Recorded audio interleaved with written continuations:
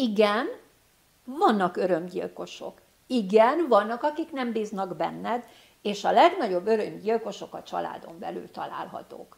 Hiszen a család nem akarja, hogy te elfoglald magad, a család azt kívánja, hogy te foglalkozz velük ugyanúgy, te szolgáld ki őket ugyanúgy, de talán a végén még ő nekik kell ezt megcsinálni. Meg egyébként is jó van ez így, ahogy van, mit ugrálsz te még, miért nem vagy boldog, mindent elértél már, mindenünk megvan, te csak maradj a fenekedem.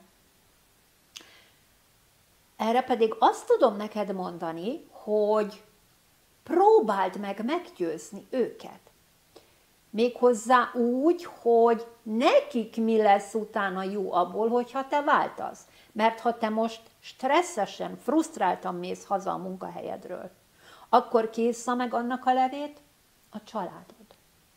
Hát ettől, az idegbajtól fogod a családodat megóvni, amikor úgy mész haza, hogy kiteljesedtél, boldog vagy, öröm, örömmel teli, és egyszerűen szereted a munkát, akkor ezt a rezgést fogod kifelé sugározni, amiből ők profitálni fognak. Kövess engem itt a YouTube csatornámon, mert ilyen karrierváltó videósorozattal gyakran fogok még jelentkezni.